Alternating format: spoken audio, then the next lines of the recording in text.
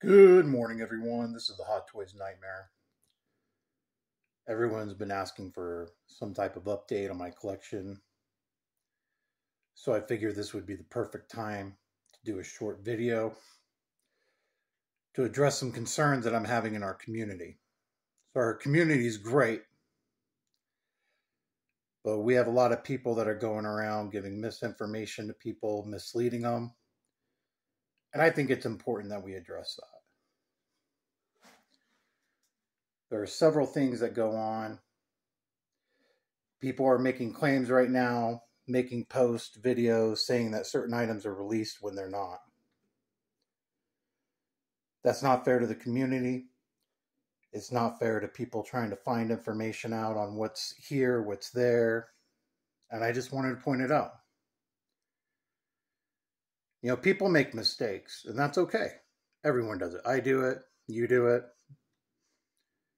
As long as you own up to your mistakes, you're willing to accept the fact that you made a mistake when someone lets you know, great.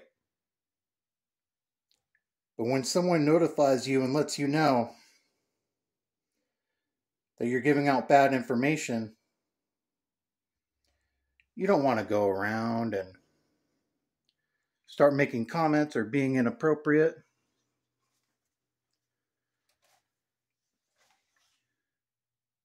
Because you're afraid to admit that you made a mistake or not.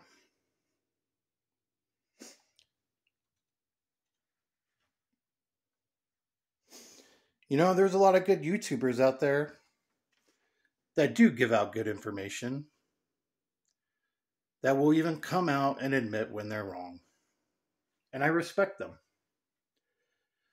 I don't always agree with everything that they ever say, what they ever do or talk about,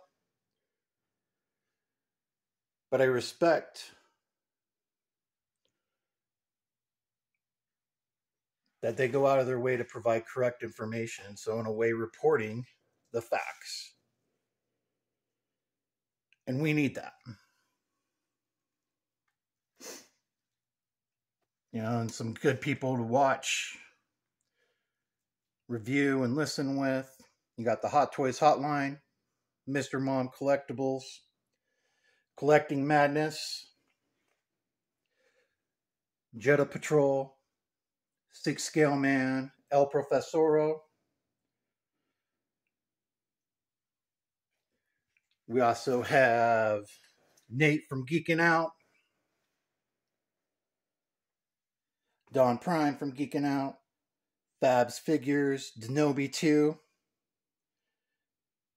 You know, you may not agree with all their styles or anything, but you know what? They give out info.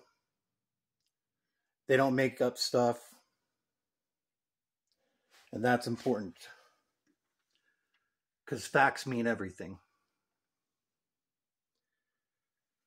And facts are important.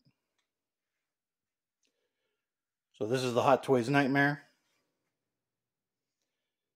Hoping all of you have a good day. Make good choices.